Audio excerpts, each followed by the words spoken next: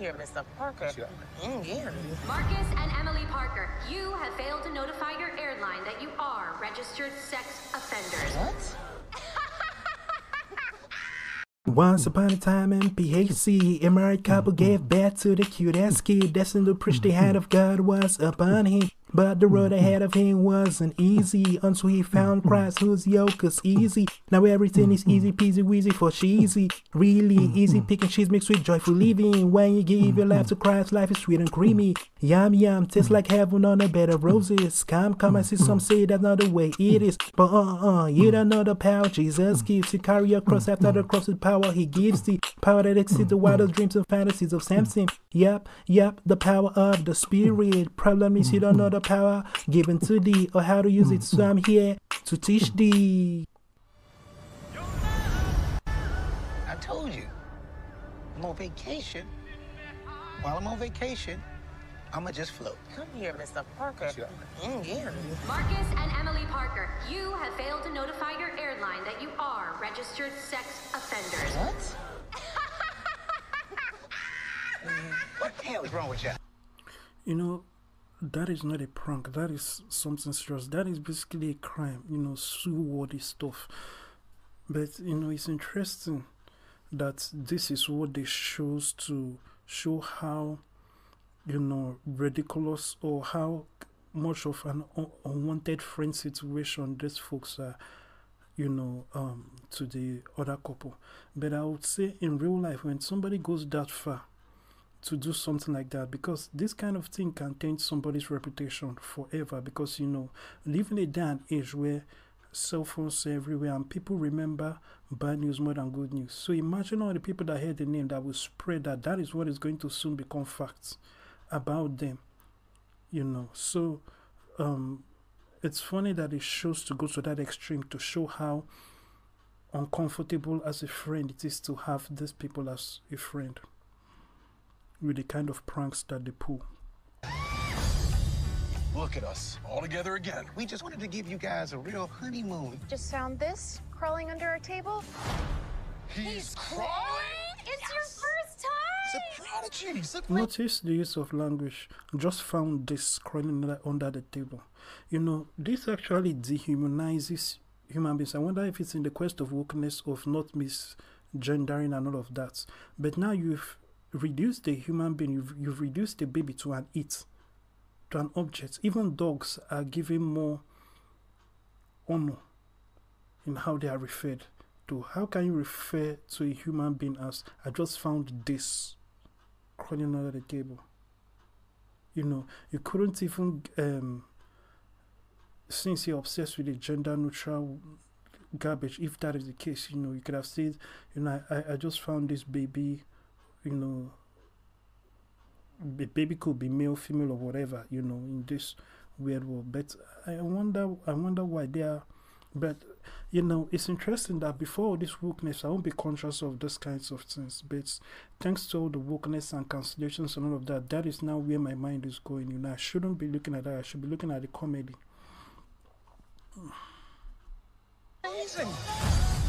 What are they doing letting us in a place this nice? How the hell did you get us in here? You didn't tell them. They gonna be long gone by the time I get into my work thing. You must be Mr. Parker. Apologies for the change in schedule. Mr. Young has invited you for drinks. All of you. Guys, I need you to be really cool. Can you do that for me?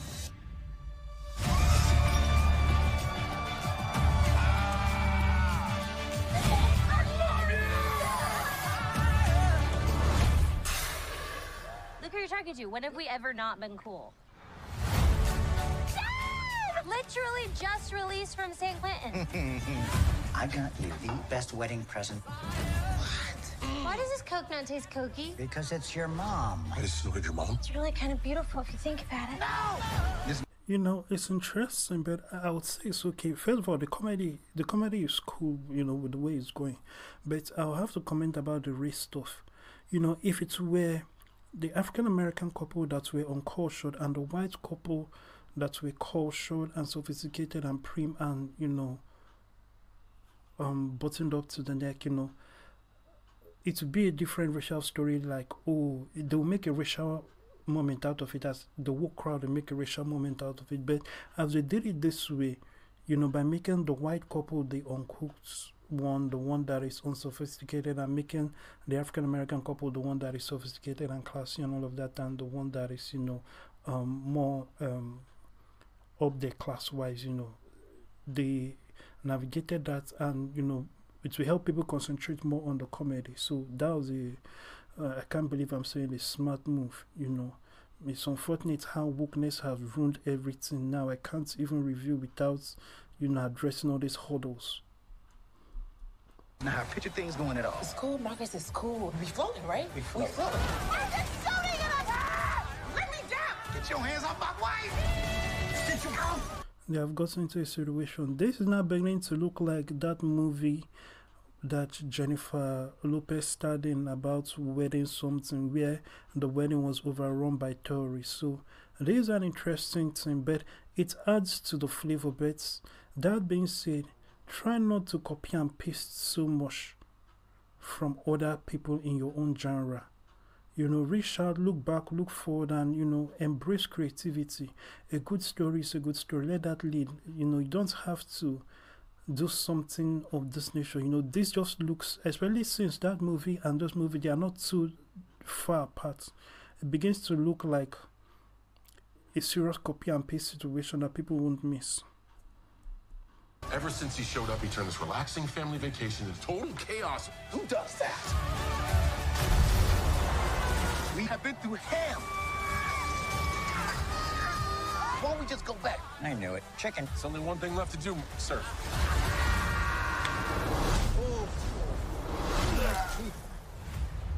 I've never seen that much water come off a person before. Did I throw up a lot? Your butthole threw up, bud. Oh.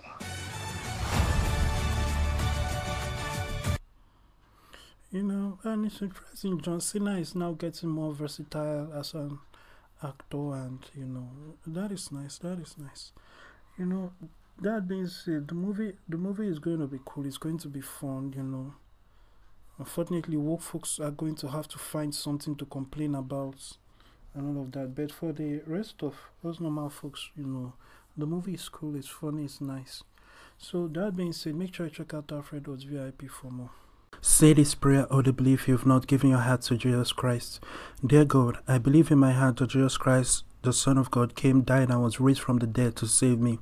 I confess Him, Lord, over my life and ask you to give me your Holy Spirit to live within me.